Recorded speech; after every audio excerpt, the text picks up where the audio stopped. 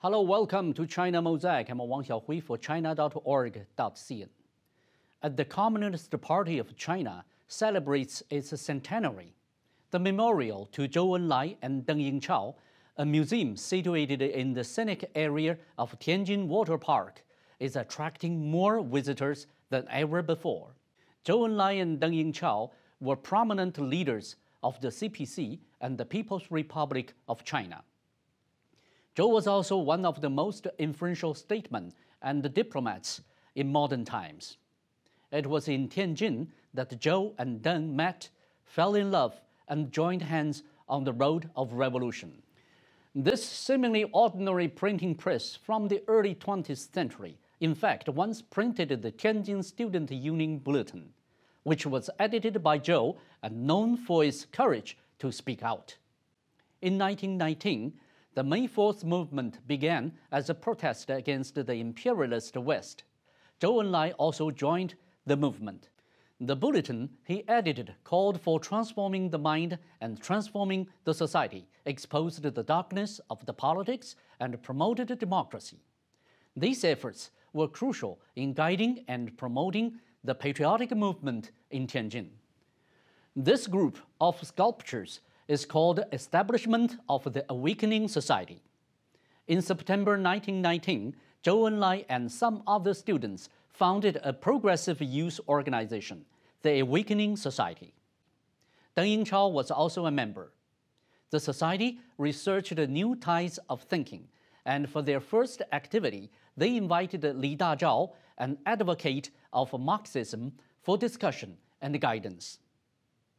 After the founding of the People's Republic of China, Zhou served as premier for 26 years, devoting himself to leading the country in shaking off poverty and establishing its presence on the world stage.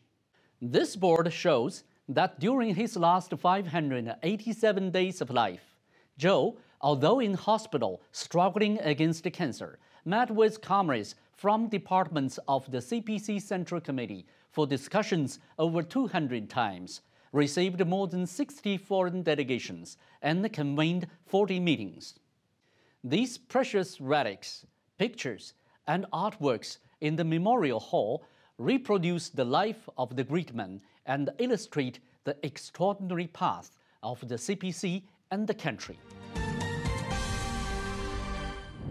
Tianjin, where Zhou and Deng lived, is currently building an advanced manufacturing R&D base, an international shipping hub, a demonstration area for financial innovation, and a pioneering area of reform and opening up. Its technological breakthroughs, such as the Tianhe supercomputer and the Kirin chip, are now world leaders, while the booming Tianjin port has developed into a world-class deep-water port. During the 14th five-year plan period, Tianjin will carry on its reform and opening up in finance and innovation in its pilot free trade zone to create a more open economic system. Zhou and Deng's patriotism, advocacy of emancipating the mind and doing solid work, and open and inclusive ideals have motivated Tianjin in the new era, driving it to take a greater role in China's economy and global trade. Meanwhile, their wholehearted services to the people have inspired leaders and CPC members across the country. Their spirit and insights originated in the past continue to inspire the present and remain as relevant as ever. Thank you for watching.